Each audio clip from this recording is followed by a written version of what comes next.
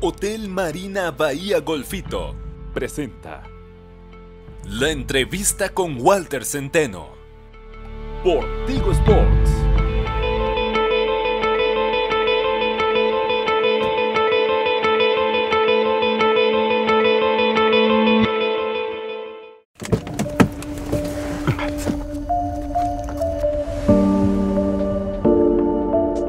Hola, buenas noches. ¿Cómo está? Gracias.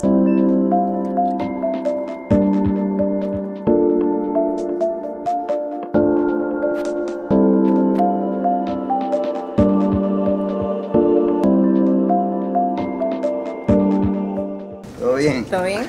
Bien, gracias. Walter, costó, costó venir a Golfito, ¿verdad? Porque para entrevistarte no es sencillo. Para que vea que Golfito es, es lindo, ¿no? Lindo lugar, ¿verdad? Lo logró.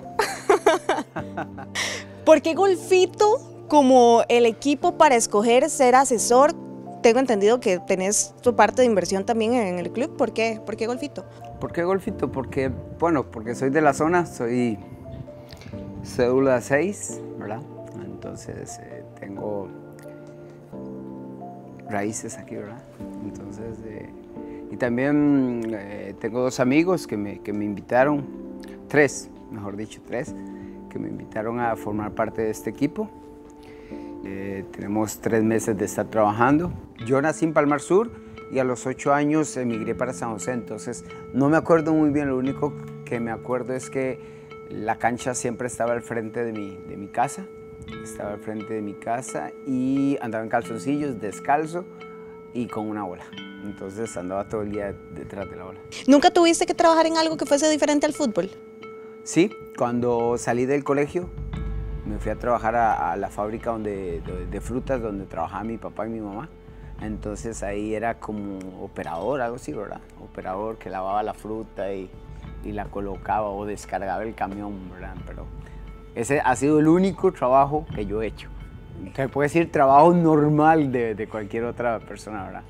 Fue de paso. ¿Y por qué lo tenías que hacer? Eh, había terminado el colegio, eh, había perdido una materia, ¿verdad? De bachillerato, entonces me fui a trabajar, entonces eh, después de eso salió la oportunidad del fútbol y, y gracias a Dios. Vámonos, dijiste. Sí, sí, la verdad que no, nunca, nunca, no voy a decirlo, nunca, el estudio como que no, no era parte de mí, ¿verdad?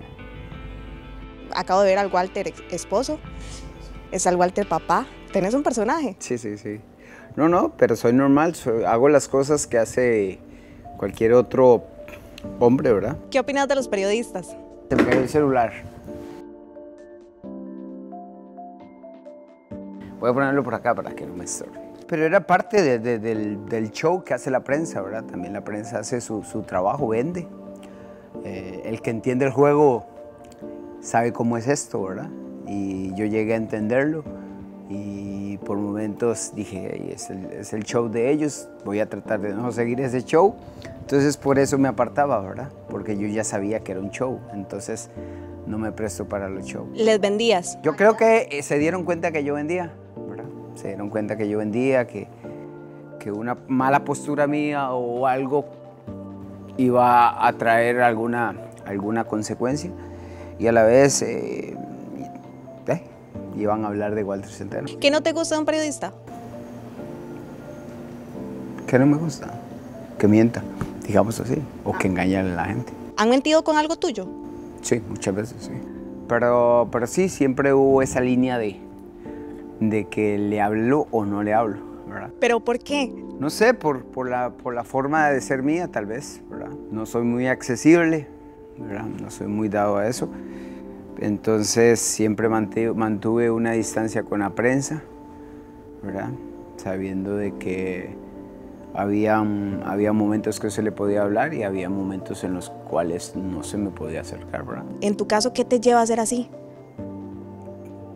el estar pensando, Creo que mm, entre más solo estoy es cuando, cuando me encuentro más, cuando pienso más, cuando, cuando tengo más creatividad, cuando me aparecen las ideas. Ahora como entrenador eh, siempre me, gusta estar, apartarme un poco para, para, pensar mejor. El ruido me perturba, me perturba mucho. Entonces por eso siempre me gusta estar en, en lugares donde no haya tanto ruido. Nada más que, que tengo el privilegio de haber jugado al fútbol, ¿verdad? de haber formado cosas importantes alrededor mío, entonces eh, tal vez la gente me dé diferente, pero, pero soy, soy totalmente normal. Al fútbol, pero jugar de buena forma.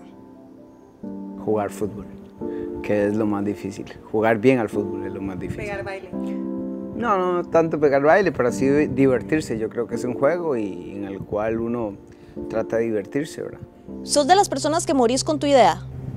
Claro, porque sí, sí, sí, sí, sí. Por supuesto. Nada te hace cambiar, muy difícil. Es que no tengo, o sea, sí, me, sí puedo cambiar ciertas cosas, pero, pero la, la, la, la, esencia no la puedo cambiar. O sea, hay cosas que tal vez uno, la gente le dice a uno que uno no cambia, no, pero no, sí cambia. Hay cosas que cambian. Pero, pero hay, la esencia no se puede traicionar, no se puede traicionar. ¿Sentís que eso te pasó factura quizás en esa prisa o no? No, no, no, no, no me pudo, o sea, hasta el momento yo en la etapa de esa prisa terminé jugando a lo que, a lo que, a lo que me gustaba, ¿verdad? De hecho que no, no, no tengo por qué eh, lamentarme de eso, ¿verdad? Soy una persona, como te dije anteriormente, muy segura. Sé de lo que estaba haciendo, ¿verdad? Pero esto es fútbol, a veces le toca perder, a veces le toca ganar. Y, y, así es esto, ¿verdad? El fútbol da muchas vueltas. Pero a veces te tocaba jugar un poco directo. Son, esas son cosas, son cosas, o sea, es que la gente a veces, o sea, ¿qué le voy a decir? El periodista quería que yo hiciera, que hiciera el juego directo, por eso inventó ese cuento. Porque el periodista no puede perder. ¿Me entiendes? Entonces dice, ve, Walter Centeno ahora sí jugó directo. No, yo siempre dije que había que salir jugando, pero, pero, si me presionan, el otro equipo deja un espacio. Entonces ahí es donde entra la inteligencia de un jugador, de los jugadores que interpreten el juego. Entonces es, el fútbol es interpretación y depende, depende de quién lo interprete bien el fútbol. ¿verdad? Mucha gente lo interpreta de varias maneras. ¿Cómo te gustaba a vos? No, jugar bien. No es jugar bonito, es jugar bien. El jugar bien es, no es jugar bien, sino que es que el fútbol ha cambiado, el fútbol no es el mismo del, de hace 20 años, no es el mismo.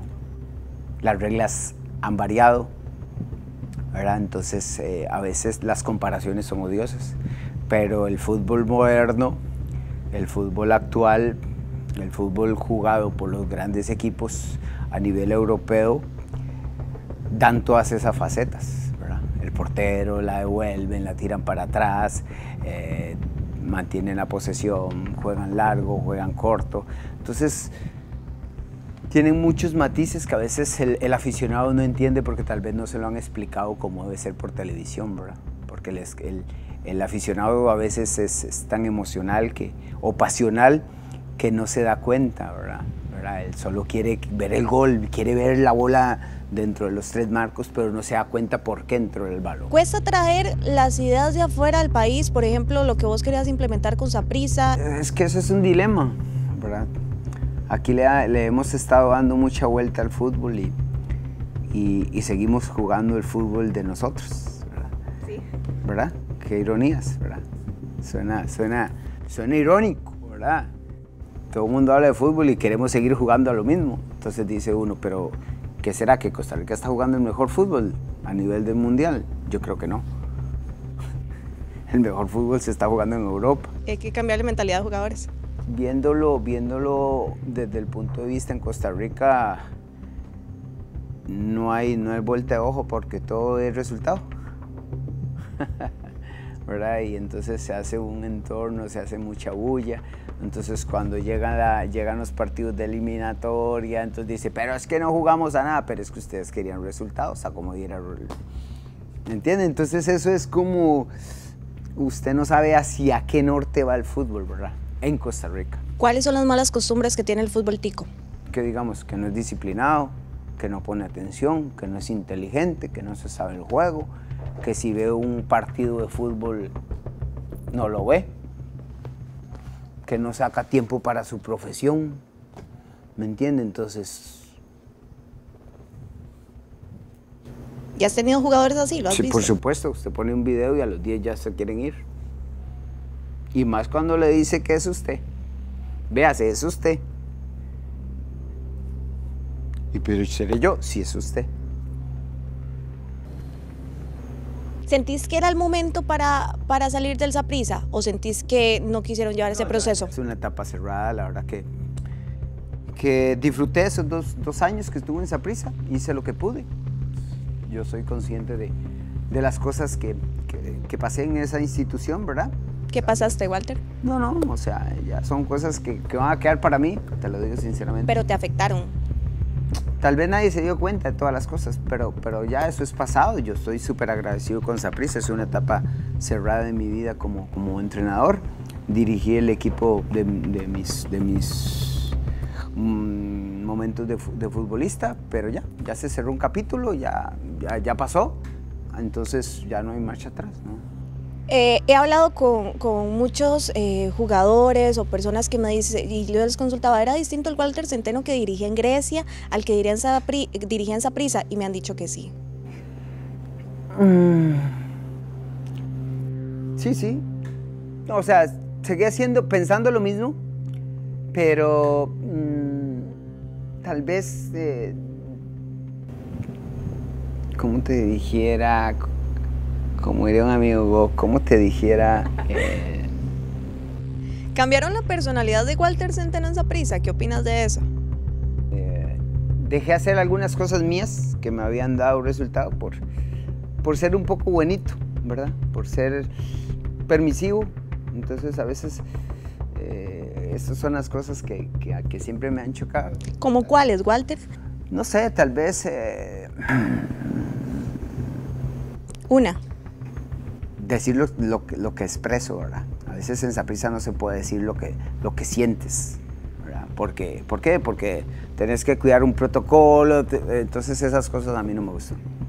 Yo he escuchado que hasta te dijeron que, o sea, justamente eso, que tenías que llevar un protocolo y que no podías, eh, o sea, que llevaste como una asesoría para intentar bajar los ánimos. Me sirvió mucho el, la, la, la, parte en, de comunicación, pero a veces eh, el, el el no desahogarse a veces te, te, te, limita, ¿verdad? Te limita, te limita porque, por muchas cosas, porque, porque pierdes un poco de, de, de credibilidad, no de credibilidad, sino como de autoridad, llamémoslo así, ¿verdad? Entonces, como que no sos, no sos esa persona, ¿verdad? Entonces, en Saprisa muchas veces tuve que guardar silencio, tuve que guardarme las, las palabras, pero ya pasó, ya pasó. Saprissa era o es un club que uno está acostumbrado a ver que gana todo, que tiene lo mejor, que tiene los mejores fichajes, que tiene todo lo mejor. Ahorita vemos un Saprissa que estaba pulseándola, como decimos popularmente, un centro de alto rendimiento. ¿Es un Saprissa diferente para el aficionado? Eh, ¿Cómo te dirá? Saprissa va a seguir siendo Saprissa, ¿verdad? Saprissa es una institución de muchos de muchos fantasmas buenos, ¿verdad? futbolísticamente hablando.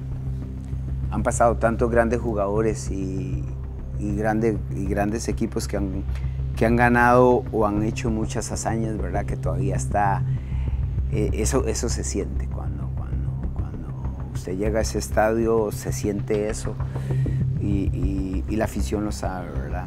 No todas las generaciones son iguales, ¿verdad? no todas las generaciones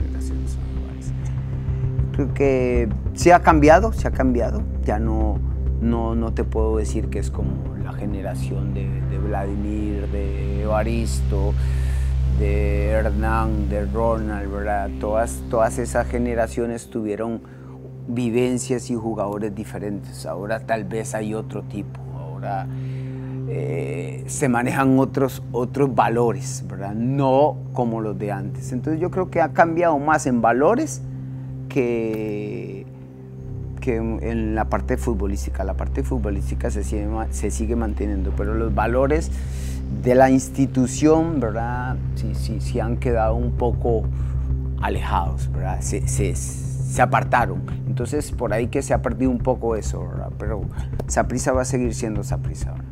Eh, ¿Es un golpe tal vez al, al, al sapricismo, eh, la situación que vive el, el, equipo? Por ejemplo, a centros de alto rendimiento, eh, fichajes le quitaron eso a Celso. A llegar, ¿verdad? Eso va a llegar. No se me olvida que la primera persona que pensó en un centro de alto rendimiento fue don Enrique Artiñano, 1993. Él yo creo que iba a ser como un sideriza, algo así, que él fue un visionario. Nadie le hizo caso. Nadie compró acciones. ¿Verdad? Yo me acuerdo claramente que, que en los partidos había una, una, una gente de esa prisa vendiendo, vendiendo esos clubes y nadie le hizo caso. ¿verdad? Pero hey, eh, pasó lo que pasó con Alajuela, ahora Alajuela tiene un CAR, pero, pero eso, eso, eso hace 20 años está en los equipos, entonces de qué ahora, o sea, no hay comparación. Y, no es que esa prisa o cualquier equipo, todo mundo necesita esas cosas, por supuesto, ¿verdad? Que unos tienen la fortuna ¿eh? Eh, o el valorar del dinero ahorita en este momento lo pueden hacer, ¿verdad? Pero yo creo que esa prisa lo va a lograr. Y el día que lo va a lograr va a seguir siendo esa prisa y puede ser aún mejor, ¿verdad? Pero eso, es, eso no lo sabemos, ¿verdad? Eso no es, no, no, no se mide, no se mide por si tienes un, un centro alto rendimientos. Conste, es importante, pero no lo es todo, ¿verdad? Acaban de ganar. Si fueses jugador actual, ajá, ¿en cuál equipo del fútbol nacional jugarías? ¿Cuál? De donde me paguen. Con el que me quiera. Me está diciendo actual, ¿verdad? Ajá. Ok. Con el que me pague. Libre. Libre. Es más, ahora soy libre. Puedo, puedo estar donde yo quiera. El que me pague. ¿Por qué nunca te fuiste, por ejemplo, a, a la liga? ¿Nunca te hicieron una oferta? No, no, no. Yo creo que en ese momento se, se, se, se dieron ese, eh, ese valor de Saprisa. Saprisa antes eh, eh, nunca tuve ningún problema con, con, con, la renovación mía. Entonces yo creo que ningún otro equipo me ofreció más que Saprisa. Entonces yo creo que Saprisa, por, eso, por eso terminé mi carrera en Saprisa, ¿verdad? Porque Saprisa siempre estuvo bien conmigo y yo y ellos bien conmigo y yo bien con ellos, entonces no hubo, no hubo ningún tipo de problemas. Y ya como técnico ahí sí hubo sus diferencias. ¿Qué? En la parte económica, en cuanto a negociar eh, la extensión del contrato. Bueno, ya es que ahora, ahora está de moda que los entrenadores son los que se van. si no ganas tres partidos te, te quitan, ¿verdad? Pero es el fútbol de Costa Rica, es el, es el circo tico en el que estamos metidos nosotros los, los, nosotros los entrenadores y los jugadores, ¿verdad? Es más del circo, ¿verdad? Pero. ¿Qué tiene que tener un equipo para que, te, para que vos digas, quiero ir a ese proyecto, quiero dirigirlo, para verte de nuevo como técnico? ¿Que cree en mí? ¿Verdad? Me, creo que eso es lo más importante, que me crean. Soy una persona que me gusta que me den que me den libertad en tomar decisiones, ¿verdad? Me gusta siempre tomar las decisiones, equivocarme yo. Dependiendo siempre de, de, qué tan ambicioso sea, ¿verdad? No, no, quiero dirigir por dirigir, ¿verdad? Porque si dirijo por dirigir no ayuda al fútbol de Costa Rica y mi intención siempre ha sido ayudar y mejorar el fútbol de Costa Rica. Y en este caso a los jugadores, ¿verdad? Por supuesto, porque ellos son la materia prima, ellos son lo, lo más importante, entonces uno como, como entrenador y como educador, porque no solo es, es, ser entrenador, sino que hay que ser educador. ¿Te gusta la, la Cele de hoy? Ah, la Cele. Está jugando bien. No, no.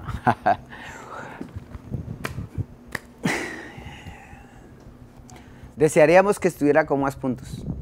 Es lo que te puedo decir. Desearíamos que... Pero tenemos lo que tenemos. ¿Qué más? Dígame. Pregunta más difícil esa. ¿Te gusta cómo está jugando? ¿Te gusta? Me gusta cómo juega el City. Me gusta cómo juega el Bayern. Ellos juegan bien. Me gusta cómo juega.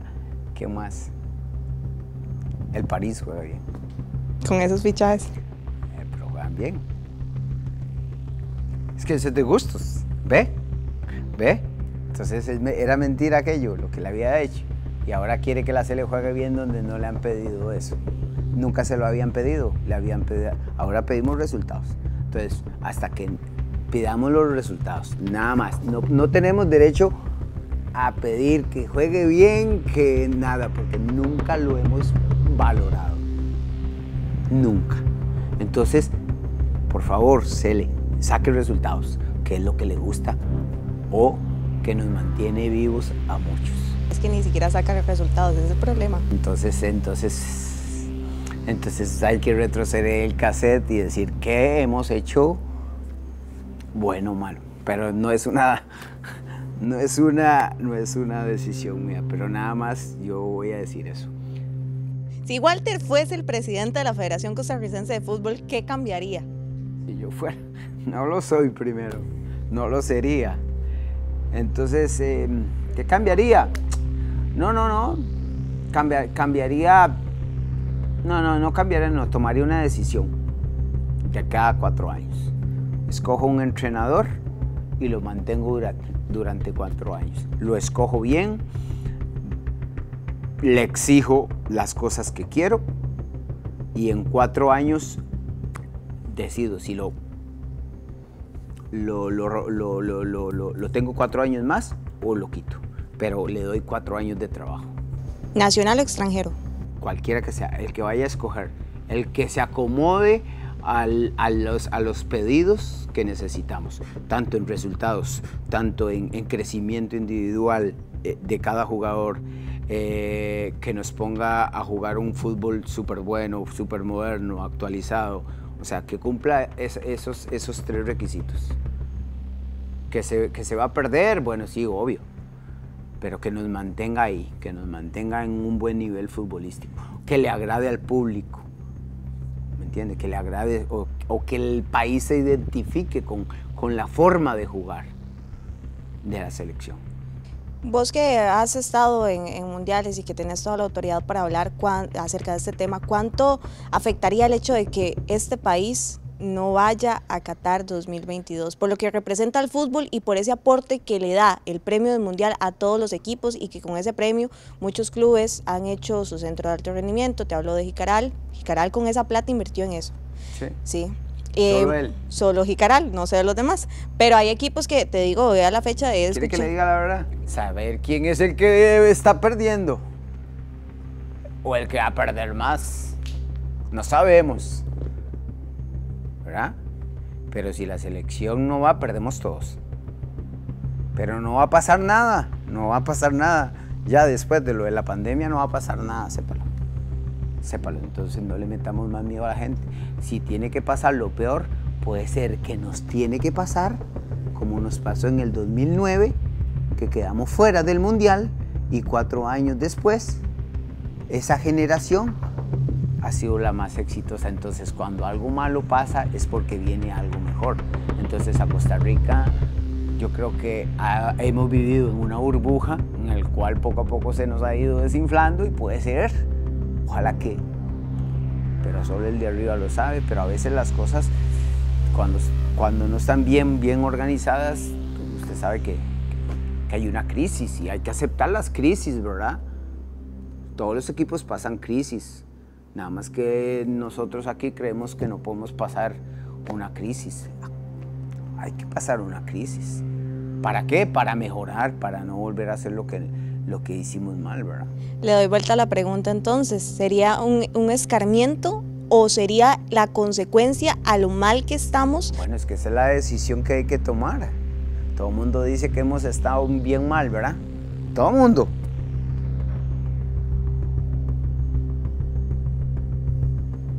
Pero ¿qué hemos hecho para mejorar?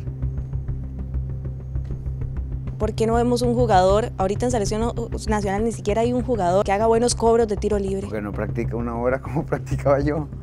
Digo yo, no sé, es que yo practicaba yo era loco. No, es que me, me apasionaba lo que hacía. La verdad que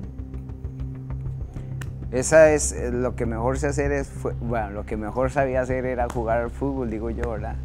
Entonces, eh, me, me, enamoré fielmente del fútbol, entonces yo sabía que si le daba horas de entreno, tarde o temprano me iba a, dar una recompensa. Entonces, eh, a veces me da lástima, ¿verdad? Que, que se pierdan opciones, pero no hay práctica, no hay práctica. Y por ejemplo, esos cobros de, de tiro de esquina, esos goles olímpicos, ¿cuánto los planificabas? No, no, los goles, los goles de tiro libre que hice yo y Alonso en el Ricardo Zapisa eran guavas. Porque en el, en el marco sur, sur, sí, ese marco chupaba. Entonces Alonso muchas veces tiraba ahí sin ver.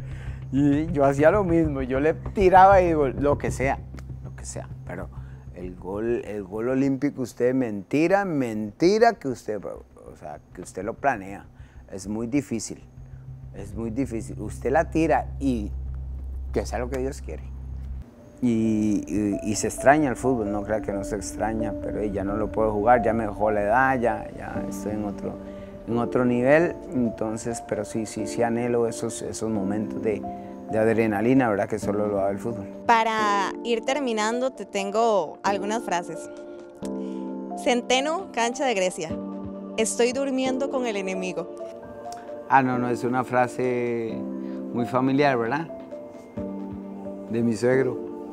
No, es que mi suegro es un vacilón, entonces siempre, siempre saca frases buenas. Entonces, el suegro, el suegro es el que me pega todas las mañas. Hernán Medford tiene que decirme, novato, me pegaste baile. ¿Ves? Pero es que eso es, como, como, un amigo. O sea, el, nosotros, nosotros, tal vez hay cosas que el, que el, perdón, que el aficionado no, no sabe de un camerino. Nosotros en un camerino tenemos mucha convivencia. Nos decimos las cosas. Yo, yo tenía eh, un utilero que me decía, mae, pate, eh, hoy no viniste a jugar. Me lo dijo el utilero y yo, así. Y me lo decía en la cara. O me decía, pate, tiene mucho tiempo de no hacer un gol de tiro libre. Un utilero. Entonces, ese choteo, ¿verdad? Ese, ese, ese, dimes y diretes, como que en, nosotros es muy normal. Es muy normal, tal vez para, para una persona que no está acostumbrada al, al decirse las cosas de frente. Dice, ¿pero por qué le dijo eso? Nosotros nos tratábamos así todos los días. Alonso yo le decía, bueno, papito, hoy no vino. ¿Entiendes? Jervis, mae, ¿qué? Se lo están bailando. Pero nos decimos las cosas, o sea, no había derecho a enojarse. Era como que, como que picarnos entre sí, ¿verdad? Pero era para sacar algo mejor. Pero la gente lo ve a la inversa, ¿entiendes? Entonces, con la relación que, hemos que yo tuve con Hernán, verdad que fuimos compañeros, siempre nos tratábamos como así. Él me decía novato, me decía novato, chamaco. Entonces como que quedó esa esencia de jugador, jugador, ¿verdad? Que eso no se pierde. Entonces cuando yo veo a un, a ex compañero mío, siempre, siempre como que nos, tiramos, pero es, es el argor futbolístico, no es, no es nada, nada malo, ¿verdad? Pero la gente que que cuando uno dice una frase siempre lo toma por otro lado, pero es más que todo eso. Usted decide hacer dieta, pero normalmente come mucha fritura. Le dicen que no vuelva a comer ese tipo de comida. ¿Cuánto tiempo le lleva a adaptarse? Toma tiempo. Entonces estoy tratando de cambiar un poco eso. Cuando estamos acostumbrados a jugar a una forma que no es la habitual, llega un entrenador y nos dice, ok, ya no es así, es así, va a haber un cambio muy, muy brusco, en el cual vas a perder porque estás innovando algo y a la vez estás perfeccionando la idea de juego. Entonces le cambiaste totalmente el chip al jugador. Porque no es lo mismo lo que se juega aquí que lo que se juega en Europa. Por eso es que al jugador tico le cuesta jugar en Europa. Así de fácil. Entonces, ¿qué quiere decir? Que no es fácil. Y no solo es, eh, o sea, las costumbres a veces a uno no lo dejan alcanzar. O las malas costumbres. Clásico Nacional. Cuando yo era jugador, la liga me metió cuatro goles, pero yo les pegué ah, baile. Sí, sí, sí. Entonces, al final de la historia de mi carrera, Walter Centeno terminó bien y les agradé a ustedes por mi forma de jugar. Yo sé por qué le digo esas cosas, porque los jugadores de la liga después me dijeron, profe, ganamos, pero usted, nos, usted dominó el partido, ¿entiendes? Pero esas cosas no... Entonces, como le dije anteriormente, la gente se queda y no entiende a veces. Ve solo los goles, ve solo los goles. Como digo yo, ve tele.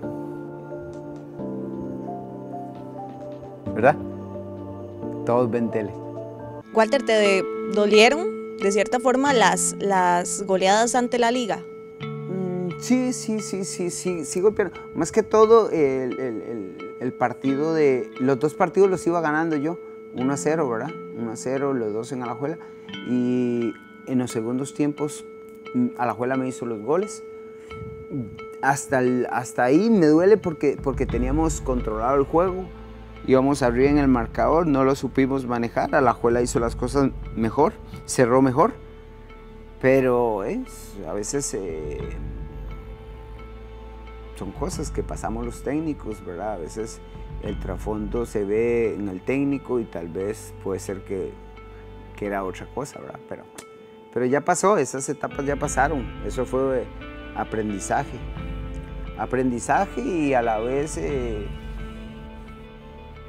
quedan ahí guardadas para próximas eh, confrontaciones para ver qué pasa. Yo creo que eh, mi carrera como técnico recién empieza. Tengo poco tiempo de dirigir, he estado contento, no puedo, no puedo echarme a morir. Si hay algo claro, puedo decir que de los entrenadores es el que más claro está en su idea futbolística. Es lo único que puedo decir.